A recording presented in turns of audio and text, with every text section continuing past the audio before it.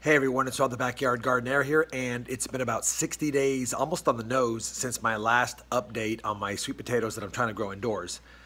I'm going to show you what's going on with them, but I've had to trim them quite a bit because it seems like I got an indoor pest problem.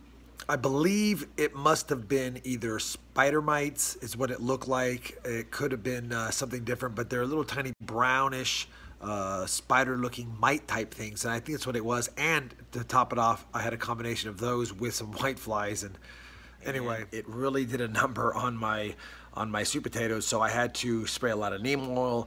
It stunted their growth. They lost almost all their leaves. They've just now started to come back uh, quite a bit. Um, so I guess they've now been in the ground since October 16th. Uh, we're coming up on three and a half months. Technically, you want four to five months for sweet potatoes outside where they get full warmth of the sun, nutrients from the sun and the soil. So I don't know what to expect, but I did take a peek. I want to show you where they're at, and uh, let's go take a look. Okay, so you can see the bin here of the sweet potatoes. You'll notice that there's not as much foliage as last time. There's a lot of dead leaves in here because as I trimmed them off, I left them. Here's some leaves that are not as bad as the ones I had to pull off, but they're definitely not that healthy. There's no leaves on these vines. Uh, again, the leaves just aren't that good. Here's another good example. So as you can see, they're not looking that great. However, um, back here, I pulled back a little bit of the soil and down in here, you can clearly see we've got the start of three sweet potatoes. This is just one of the corners that I started to pull from. Here's a closer look. They don't look the best, but again, they're small for right now. Uh, it's nice to see that they're developing sweet potatoes. Not quite sure if they're going to thicken up at all. They're going to get bigger, but uh, it's good to see that I have something started.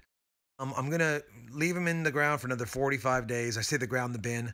You can see again, they're planted on October 16th, and I was hoping for a Valentine's Day harvest, but four or five months is, is pretty good. So we'll go another 45 days or so. You know, I'm a little excited. We're getting a little bit of action now. I feel good about it. Um, my allergies are killing me, so you're probably wondering why my eyes are so red, but uh, we'll deal with it.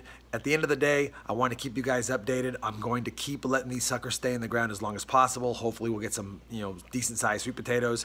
Uh, originally was going to harvest them right around Valentine's Day, but we're going to wait a little bit longer. I'm going to go the full five months, but uh, I'll give you guys updated maybe in the next uh, month or so, uh, or earlier if I see some developments. Anyway, thanks for watching. If you like the video, give it a thumbs up. If you like the series, let me know. If you think there's something I could do differently, please uh, advise me, and have a good day.